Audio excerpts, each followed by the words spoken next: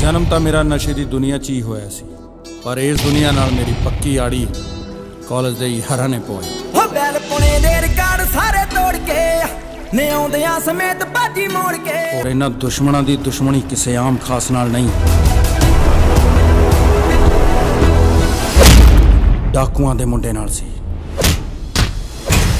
ਲੈ ਬਾਪੂ ਦਵਾਈ ਲੈ। ਦਵਾਈਆਂ ਨਾਲ ਕੁਛ ਨਹੀਂ ਬਣਨਾ। ਮੈਨੂੰ ਤਾਂ ਨਸ਼ਾ ਲਿਆ ਦੇ ਪੁੱਤ।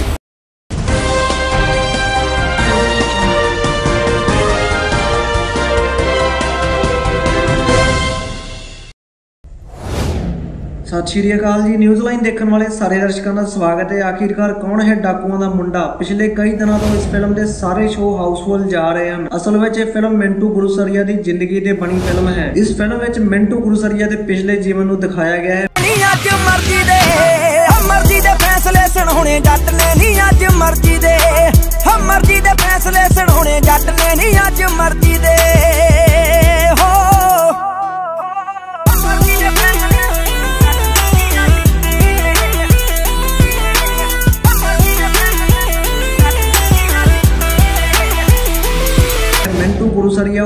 ਹੈ, ਜਿਸ ਨੇ ਨਸ਼ੇ ਦੀ ਦਲਦਲ ਵਿੱਚੋਂ ਨਿਕਲ ਕੇ ਇੱਕ ਮਿਸਾਲ ਕਾਇਮ ਕੀਤੀ ਹੈ। ਮਿੰਟੂ ਦਾ ਜਨਮ 26 ਜੁਲਾਈ 1979 ਨੂੰ ਜ਼ਿਲ੍ਹਾ ਸ਼੍ਰੀ ਮੁਕਤਸਰ ਸਾਹਿਬ ਮਲੋਟ ਦੇ ਪਿੰਡ ਗੁਰੂਸਰ ਯੋਧਾ ਵਿੱਚ ਬਲਦੇਵ ਸਿੰਘ ਦੇ ਘਰ ਹੋਇਆ ਅਤੇ ਉਸ ਦਾ ਨਾਮ ਬਲਜਿੰਦਰ ਸਿੰਘ ਰੱਖਿਆ ਗਿਆ, ਪਰ ਪਿੰਡ ਦਾ ਨਾਮ ਮਿੰਟੂ ਦੇ ਨਾਮ ਨਾਲ ਜੁੜਨ ਤੋਂ ਬਾਅਦ ਉਸ ਨੂੰ ਮਿੰਟੂ ਗੁਰੂਸਰੀਆ ਵੀ ਕਿਹਾ ਜਾਣ ਲੱਗਿਆ। ਮਿੰਟੂ ਗੁਰੂਸਰੀਆ ਦੇ ਦਾਦਾ ਤੇ ਪਿਤਾ ਸ਼ੁਰੂ ਤੋਂ ਹੀ ਨਸ਼ੇ ਵੇਚਣ ਦਾ ਧੰਦਾ ਕਰਦੇ ਸਨ, ਜਿਸ ਚੀਜ਼ ਦੀ ਲੋੜ ਹੋਵੇ ਉਹ ਕਈ ਵਾਰ ਲੋਕਾਂ ਤੋਂ ਧੱਕੇ ਨਾਲ ਹੀ ਲੈ ਆਉਂਦੇ ਸਨ। ਜਿਸ ਕਰਕੇ ਲੋਕ ਉਹਨਾਂ ਨੂੰ ਡਾਕੂ ਵੀ ਕਹਿਣ ਲੱਗੇ, ਮਿੰਟੂ ਨੇ ਆਪਣੀ ਬਚਪਨ ਦੀ ਪੜ੍ਹਾਈ ਆਪਣੇ ਪਿੰਡ ਦੇ ਸਕੂਲ ਵਿੱਚ ਹੀ ਕੀਤੀ। ਉਸ ਤੋਂ ਬਾਅਦ ਮਿੰਟੂ ਨੇ ਆਪਣੀ ਗ੍ਰੈਜੂਏਸ਼ਨ ਦੀ ਪੜ੍ਹਾਈ ਲਈ ਮਲੋਟ ਸ਼ਹਿਰ ਵਿੱਚ ਦਾਖਲਾ ਲਿਆ। ਮਿੰਟੂ ਸ਼ੁਰੂ ਤੋਂ ਹੀ ਹੁਸ਼ਿਆਰ ਸੀ, ਪਰ ਉਸ ਨੂੰ ਕਾਲਜ ਵਿੱਚ ਨਸ਼ਿਆਂ ਦੀ ਲੱਤ ਲੱਗ ਗਈ। ਇਹ ਲੱਤ ਇੰਨੀ ਜ਼ਿਆਦਾ ਵੱਧ ਗਈ ਕਿ ਉਹ ਬਹੁਤ ਜ਼ਿਆਦਾ ਮਾਤਰਾ ਵਿੱਚ ਨਸ਼ੇ ਦੀਆਂ ਗੋਲੀਆਂ ਖਾਣ ਲੱਗਾ ਤੇ ਪੈਸਿਆਂ ਦੀ ਲੋੜ ਕਾਰਨ ਉਹ ਚੋਰੀਆਂ ਕਰਨ ਕਰਕੇ ਕਈ ਵਾਰ ਜੇਲ੍ਹ ਵੀ ਗਿਆ।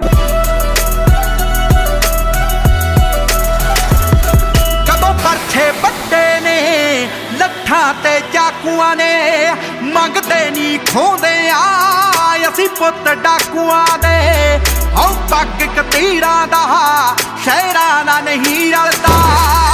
ਸਾਲਰਾ ਵਾਂਗੂ ਨਹੀਂ ਨਾਮ ਅਖੀਰ ਨਸ਼ਾ ਕਰਕੇ ਉਸਦੇ ਪਿਤਾ ਨੂੰ ਵੀ ਆਪਣੀ ਜਾਨ ਗਵਾਉਣੀ ਪਈ ਹੈ ਤੇ ਇਸ ਤਰ੍ਹਾਂ ਦੀਆਂ ਕਈ ਘਟਨਾਵਾਂ ਤੋਂ ਬਾਅਦ ਮਿੰਟੂ ਨੂੰ ਅਹਿਸਾਸ ਹੋਇਆ ਕਿ ਉਹ ਗਲਤ ਰਸਤੇ ਤੇ ਜਾ ਰਿਹਾ ਹੈ। ਤੇ ਉਸ ਤੋਂ ਬਾਅਦ ਅਖੀਰ 20 ਸਾਲਾਂ ਬਾਅਦ ਮਿੰਟੂ ਨੇ ਨਸ਼ਾ ਛੱਡਣ ਦੀ ਇੱਕ ਕੋਸ਼ਿਸ਼ ਕੀਤੀ ਜੋ ਕਿ ਕਾਮਯਾਬ ਹੋ ਗਈ। ਜਿਸ ਤੋਂ ਬਾਅਦ ਮਿੰਟੂ ਗੁਰੂਸਰੀਆ ਨੂੰ ਸੋਸ਼ਲ ਮੀਡੀਆ ਤੇ ਇੱਕ ਲੜਕੀ ਨਾਲ ਪਿਆਰ ਹੋ ਗਿਆ ਤੇ ਥੋੜੇ ਸਮੇਂ ਬਾਅਦ ਉਹਨਾਂ ਨੇ ਉਸ ਲੜਕੀ ਨਾਲ ਵਿਆਹ ਕਰਵਾ ਲਿਆ। ਉਹਨਾਂ ਦੀ ਪਤਨੀ ਨੇ ਉਹਨਾਂ ਨੂੰ ਹਰ ਸਮੇਂ ਸਾਥ ਦਿੱਤਾ ਤੇ ਉਹ ਅੱਜ ਵੀ ਆਪਣੇ ਪਿਆਰ ਨਾਲ ਖੁਸ਼ੀ-ਖੁਸ਼ੀ ਆਪਣੇ ਪਿੰਡ ਗੁਰੂਸਰ ਯੋਧਾ ਵਿੱਚ ਰਹਿ ਰਹੇ ਹਨ। ਉਹਨਾਂ ਨੇ ਆਪਣੀ ਇੱਕ ਪੁਰਾਣੀ ਜ਼ਿੰਦਗੀ ਤੇ ਡਾਕੂਆਂ ਦਾ ਮੁੰਡਾ ਮੁੰਡਾ ਕਿਤਾਬ ਵੀ ਲਿਖੀ, ਜਿਸ ਵਿੱਚ ਉਹਨਾਂ ਵੱਲੋਂ ਆਪਣੇ ਪੁਰਾਣੇ ਜੀਵਨ ਨੂੰ ਦੱਸਿਆ ਗਿਆ। ਉਹ ਨੌਜਵਾਨਾਂ ਨੂੰ ਨਸ਼ਿਆਂ ਪ੍ਰਤੀ ਸੁਚੇਤ ਕਰਦੇ ਰਹਿੰਦੇ ਹਨ। ਅੱਜ ਉਹ ਨੌਜਵਾਨਾਂ ਲਈ ਇੱਕ ਰੋਲ ਮਾਡਲ ਵੀ ਹਨ। ਸਾਡੀ ਪ੍ਰਮਾਤਮਾ ਅੱਗੇ ਇਹੀ ਅਰਦਾਸ ਹੈ ਕਿ ਰੱਬ ਉਹਨਾਂ ਨੂੰ ਲੰਬੀ ਉਮਰ ਬਖਸ਼ੇ ਅਤੇ ਉਹ ਆਪਣੀ ਜ਼ਿੰਦਗੀ ਦਾ ਪਰਿਵਾਰ ਸਮੇਤ ਖੁਸ਼ੀਆਂ ਨਾਲ ਆਨੰਦ ਮਾਣਨ। ਇਸ ਖਬਰ ਵਿੱਚ ਇੰਨਾ ਹੀ। ਹੋਰ ਤਾਜ਼ਾ ਤਰੀਨ ਅਪਡੇਟਸ ਦੇਖਣ ਲਈ ਤੁਹਾਡੇ ਆਪਣੇ ਚੈਨਲ ਨਿਊਜ਼ ਲਾਈਨ ਨੂੰ ਸਬਸਕ੍ਰਾਈਬ ਕਰੋ ਤੇ ਹਰ ਵੀਡੀਓ ਦਾ ਨੋਟੀਫਿਕੇਸ਼ਨ ਸਭ ਤੋਂ ਪਹਿਲਾਂ ਆਪਣੀ ਮੋਬਾਈਲ ਸਕਰੀਨ ਤੇ ਪਾਉਣ ਲਈ ਬੈਲ ਵਾਲੇ ਬਟਨ ਨੂੰ ਜ਼ਰੂਰ ਕਲਿੱਕ ਕਰੋ। ਤੁਹਾਡਾ ਦਿਨ ਸ਼ੁਭ ਰਹੇ। ਧੰਨਵਾਦ।